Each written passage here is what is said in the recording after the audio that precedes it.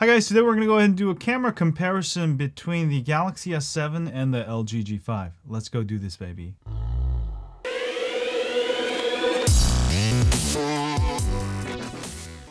Hi guys, so let me go ahead and start with some of the photos I took at the beach. Uh, this one on the left is the LG G5 versus the S7 Edge. Um, they're both on auto HDR. Um, the G5 turned on auto HDR in this shot here and you can see the shadows a lot better. Uh, S7 Edge, um, not so much, but both photos do not look too bad. But let me go on to the next photo. I did an extreme example of sort of a, a macro. Um, the focus points are slightly different. Uh, both photos look pretty well.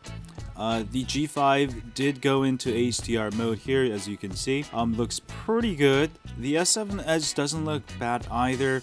Uh, it's actually got a lot more bokeh. Uh, that's probably because uh, my focus point was over here uh, versus a little bit uh, further back. So both photos do pretty well here. And in this next shot, um, I did a macro of this fish here.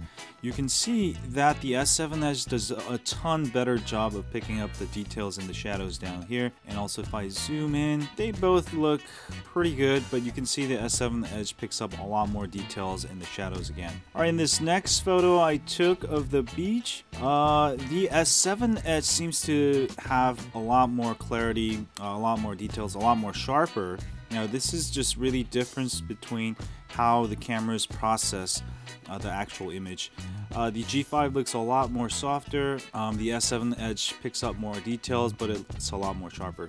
But I actually prefer the G5 look a little bit more because this one looks unnaturally too sharp whereas the G5 uh, a little bit softer. But this is definitely a personal preference. And also if you really want to get the best results, you can always take raw photo with both phones and tweak it yourself. Alright, and this is the same photo I took uh, with the LG G5. Here's the normal, and here's the wide angle from the same location. You can see the advantages having a wide angle. You can be in the same location and take two photos, one with the super wide, and this is probably the look I prefer on this one actually, because you get that nice wide view angle. I took some shots of the waves here, and you can see again the LG G5 a lot softer, uh, a lot more detail, it's a lot sharper with the S7 Edge. And here's the same photo that I took from the same location.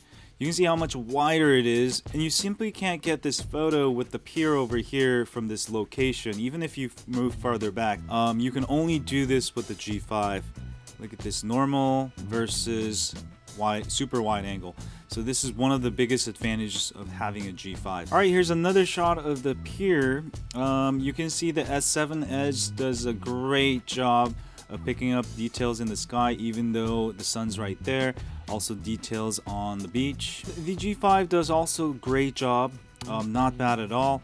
Uh, the S7 does a little bit better in picking up the details in the shadows. Alright, also the same photo I took with LG G5, one of the biggest advantages, I can take this photo or I can take this photo. And I really prefer this wide angle look versus this photo here, um, just because you get that nice wide angle. All right, in this next test, I did focus on the foreground here. You can see both did pretty well the G5 sort of lost the sun, uh, the sky is there. The S7 has sort of picked up more of the sun. And this can be sort of an advantage in situations like this, where the S7 Edge has a 4x3 versus 16 by 9 So the S7 Edge does better in this situation. Since it picks up more of the photo, I think it processes the brights and shadows better. Alright, in this next photo, I took a photo of this anchor here.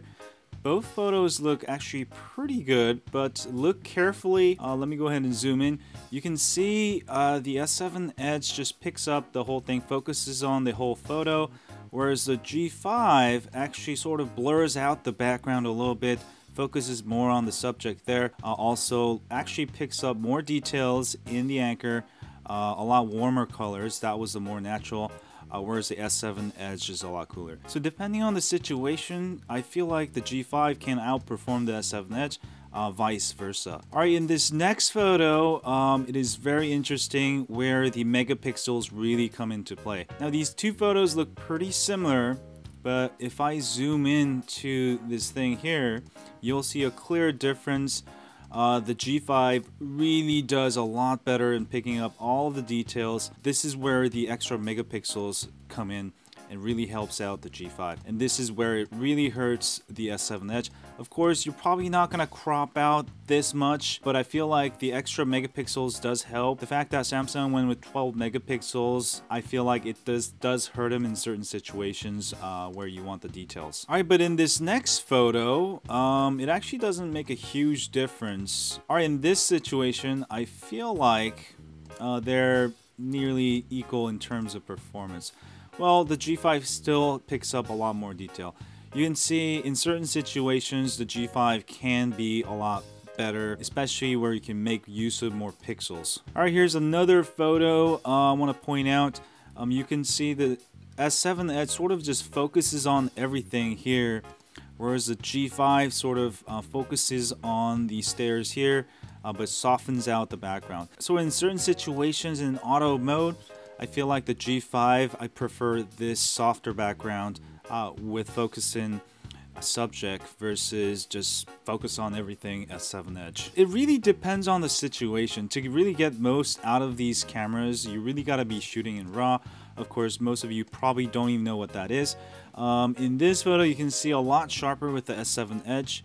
Uh, the G5 not so much. And if we go ahead and zoom in here, and you can see S7 Edge actually picks up all of these little nitty gritty details while the G5 simply loses them. This is probably done by the software, so if you took these photos raw, you can really um, get the most out of it. But this is how the auto mode processes uh, the photos here. Zoomed out, I mean the S7 Edge, I would say it's a lot more clear, but I do prefer the softer look on the G5. So I guess this really boils down to personal preference. A lot warmer colors, which I think was more true when I took this photo. Alright, next let's go ahead and take a look at low light photos and take a look at LG G5. You can see there's a lot of noise here versus not much noise S7 Edge. So this is where the 12 megapixel um, really shines. It picks up more light. So when I go ahead and zoom in on my uh, knob here, you can see a lot more clear, virtually no noise versus a lot of noise a lot of reddish uh, grains here with the LG G5. All right, here's another low light situation. You can see the S7 Edge picks up a lot more details in the shadows, uh, less details, a lot more noise. Now, if I go ahead and zoom in, you can see a lot of this yellow reddish grain with the LG G5. Uh, not so much with the S7 Edge. Here's a photo of my daughter. Um, both look pretty bad. I mean, this was like super low light after sunset. But if I go ahead and zoom in here, um, you can see the S7 Edge does a lot better.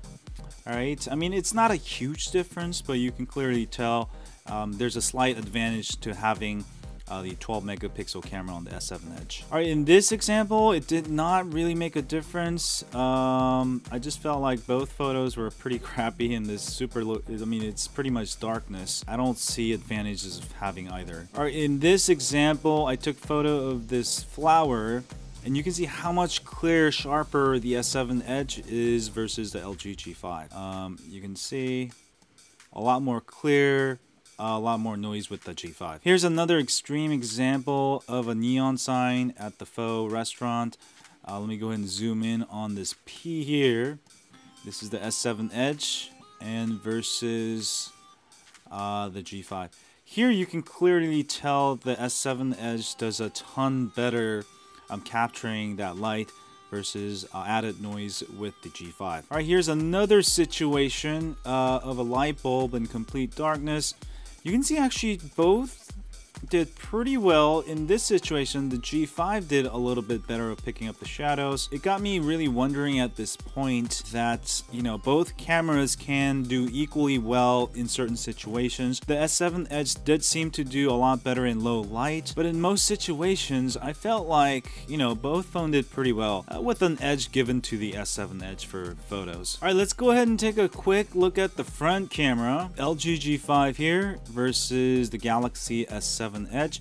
The S7 Edge in bright light seems to pick up a lot more details. You can see the details in my sunglasses uh, versus LG G5 seems to got rid of my wrinkles, but you don't get as many details. I actually prefer the LG G5 look um, since it gets rid of my wrinkles, but the S7 Edge does seem to do a lot better in picking up more details. All right, in this example where I have the sun behind me, the G5 actually went into an auto HDR mode and made my photo uh, HDR and I really like the look on the LG G5. You can see how crisp, clear uh, my face is there versus um, sort of dark with a lot of noise on the S7 Edge. So in this particular scene, uh, where you have a lot of brights in the background, and you want to get that cool HDR selfie, the G5 certainly does a good job. Here's another selfie I took with the sun on the right side of me. The G5 likes to flip uh, horizontally for some reason. That's what it does by default. But you can see both photos actually do pretty well. You can see actually S7 Edge did a little bit better in picking up uh, some of the details in the background uh, versus G5. I mean, but both did pretty well. I would say both are pretty good in this situation. Here is super low light situation. In low light, I would say they're about even. The S7 Edge not picking up a ton more detail than the G5. For front camera, I would say both are really, really good. What I'm really impressed is the HDR image uh, of the G5. One of the biggest problems with front camera is that you cannot get very good shots where it's very dark and the HDR mode is definitely going to help out take some excellent photos. So for selfies, I would definitely go with the G5. Alright guys, I was going to include some video tests also, but my video got kind of long, so I'm going to go ahead and make another video for that. So my thoughts on the still camera, the S7 Edge or the LG G5. For the back camera, I felt like the S7 Edge did have an edge in low light situations, but in most situations, both cameras did pretty well. I would say you can't go wrong with either of them. Now, if you absolutely need slightly better low light performance, go with the S7 Edge. But what I really like about the LG G5 is the front selfie HDR mode. I think it's a great way to capture some absolutely awesome selfie photos. And also I really like the fact that it has a second camera for wide angle shots. I mean, strictly talking about still photos, not videos,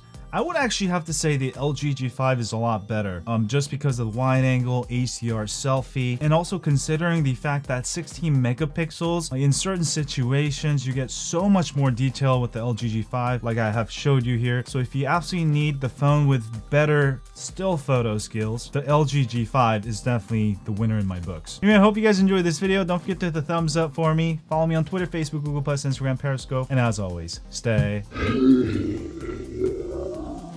on Android. Click here to subscribe. Alright, perfect.